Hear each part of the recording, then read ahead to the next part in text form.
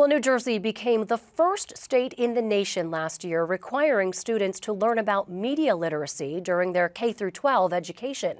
The sweeping law signed by Governor Murphy is designed to combat misinformation and help students navigate social media and news outlets so they can determine which sources are credible.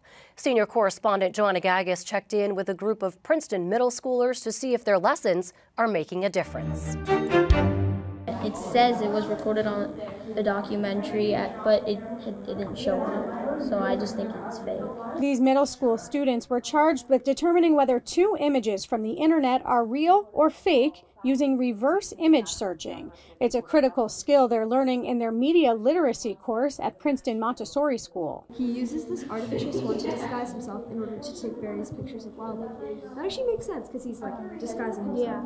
Yeah. So it's real. We've been looking for sources and we found that it's a TV series. It's staged. And we are now starting to believe that it might be it might have been staged. That was such a convincing video. It garnered 300 million views on TikTok all this is to say, it's not easy to spot you know, real from fake. Their teacher, Aish Sami, is a member of the News Literacy Project, a nonprofit organization that's working with teachers to develop best practices around teaching media literacy. My hope and dreams for the students when they walk out of the classroom is to feel they feel empowered to sort of analyze information if there is need be and be more informed consumers of cyberspace. Last year, the Murphy administration passed a law requiring media literacy education for all students, grades K through 12. But Kim Zito, a librarian who teaches media literacy in South Brunswick, says the initiative is stalled. The bill passed for an information literacy standards to be developed,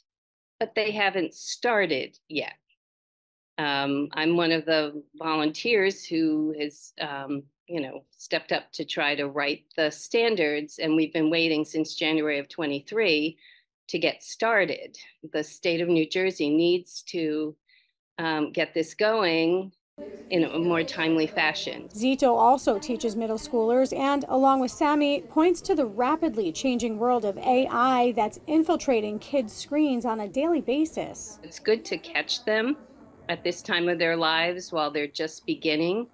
Um, I talk to them about standard based news. Um, I use resources from the News Literacy Project, which has some fantastic free resources for educators.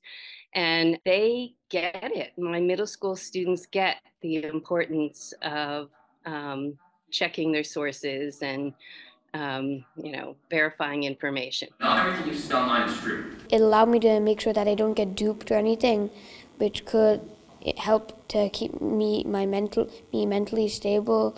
Could make sure I don't lose money on a scam or something, and it's just always good to feel like you know the truth if it was something really important, like a, a, national war, like if it was about the Ukraine war that's been happening, and something that might change my perspective on politics, it's very important for me to have all of this additional information. I definitely do feel empowered by what I've learned here because I now know so much more about the way that this entire thing works and the way the internet itself functions. But if there's any downside to all this education, when I'm sitting and scrolling on YouTube, I don't really want to do all that extra work but I feel obligated to. The burden of great responsibility that these students have, yet so many students around the state without a media literacy program, are still lacking.